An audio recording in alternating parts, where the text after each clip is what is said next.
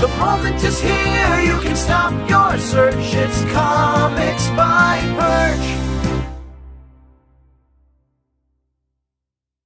Hey everybody, this is Perch. And how do you know you're on the wrong track? For a lot of people who are armchair commentators, uh, like me, like a lot of you in the comments, like the people who have lots of opinions and suggestions on social media for these companies, guess what? A lot of your opinions and suggestions are, are good ones. You as a as a customer, as a fan, as who knows what, you have two advantages that a lot of people inside these companies do not have. One, you are the customer, and you're, in theory, I hope, very in touch with yourself. You probably talk to other customers, so you have a pretty good sense of your group. Now, in fairness, your group may be small, maybe a bubble, maybe a bunch of people who are very like minded, may not represent a significant majority, but you do have a finger on at least some aspect of customers. And in many cases, as we've talked about before, and I, I can't stress it enough, there are uh, there's a, a deep level of abstraction that takes place between between the customers and the publishers. Very, very deep. Um, in many cases, the people who are making comics, who are creating them, the artists, the writers, all the rest, they have very little interaction with the customers unless they personally take it upon themselves to go meet and greet them. And, and many do, some, some do, some don't. But it's a self it's self generated action. I think it's always good, but the publisher is not pushing them to do that. Something to recognize. The other th- advantage you have as a fan, as a customer, is that you are unencumbered by rules. You're the reader. You do not have editorial mandates. You do not have a Tom Brevoort or Dan Didio or whoever it happens to be uh, coming to you, uh, your office, and saying, "Yeah, your idea is good, but maybe tweak it in these five thousand ways." You're able to just you know, what they call greenfield, come up with ideas, and in many cases, those ideas are good ones, but may not be realistic given everything that's going on. What's an example of this that's a that's a fair thing? I, I don't know. Maybe the company's publishing 80 comics and they simply do not have operational distribution room to create your multi-part crossover. Maybe they're in a contract negotiation with the writer that you want to have on your title, and, and that writer is not interested in doing it unless they pay them something in excess of their budget that they can pay. There's there's lots of things that go on in the background, very boring, very mundane things that are not terribly exciting. They don't make good videos. They're not uh, you know they're not they're not they're not catchy titles for people, but they're real factors when you're running a business. Anyone who's run a business will tell you that there are plenty of factors that are not glamorous but heavily impact their ability to operate. Taxes is a good example of one. If you've been a small business owner, taxes turns out to be something that heavily impacts your business and what you can do with it. Nobody gets super excited about taxes unless they get so extreme that you can then, you know, make a big show of it. But generally speaking, things like a minor rent rent, rent increase, uh, some kind of zoning thing that your city is doing for parking, maybe somebody passes. There's lots of goofy things that can impact your business on a day-to-day basis. They're just factors to consider. But in general, the problem that the publishers have, and this is an area where I I think the the customers and the fans and some of the creators, but not all, are in a better position than the publishers. And that is that the fans and the customers are they they're more aware of problems. What I mean by that, it's like a radar. Your your radar is tuned more to incoming problems than the publisher. Why is that? Well, first off, you have more time.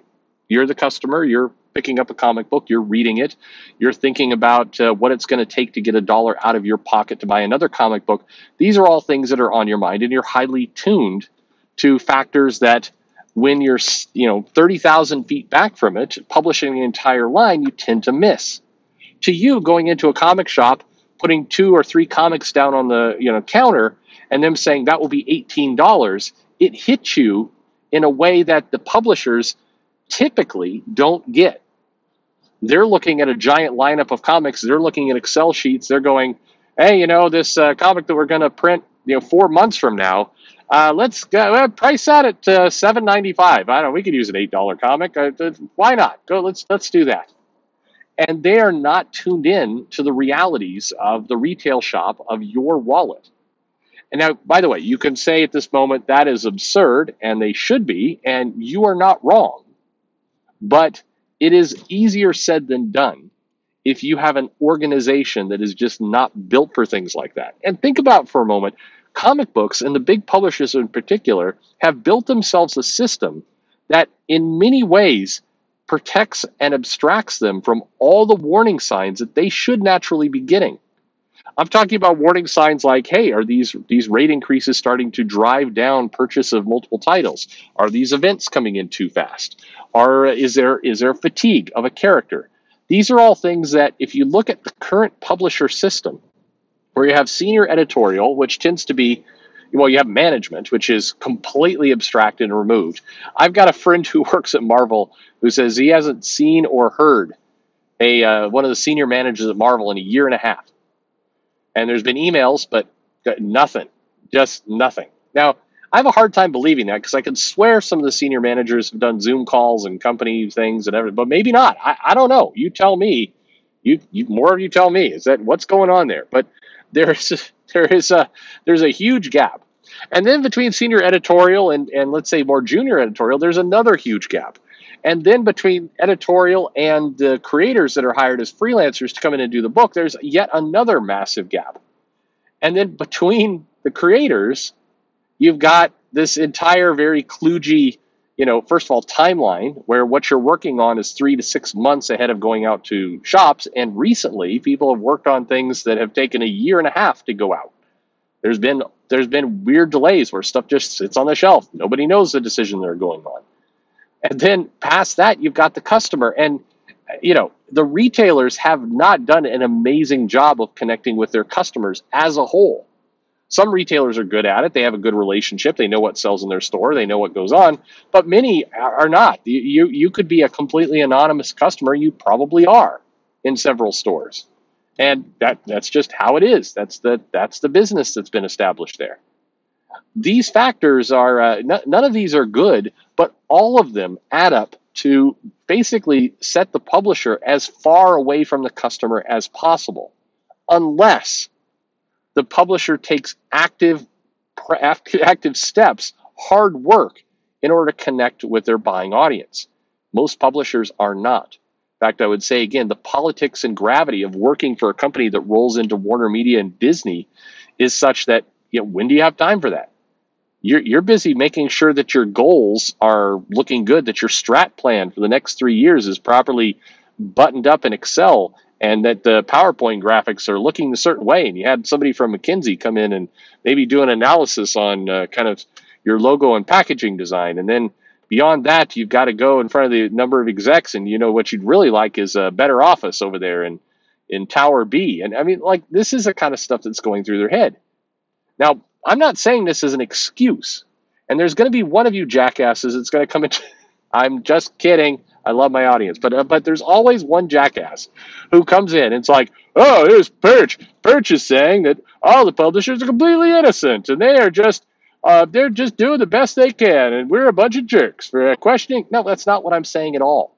I'm saying this is how it actually this is how it is in those companies, and the publishers must should, must, whatever forceful word you want to use here, find ways to break through all that BS and connect with their customer base. They absolutely must.